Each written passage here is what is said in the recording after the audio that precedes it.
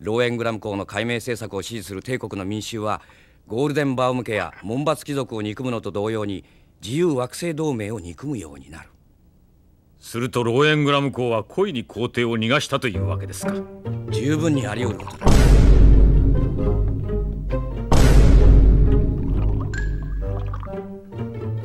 それにしても旧門閥貴族の残党に皇帝誘拐を成功させるだけの力が残っているとは思えない。皇帝が同盟に亡命する際このイゼレロの回路を通っていない以上フェザーンがこの一件に絡んでいると考えた方がいい。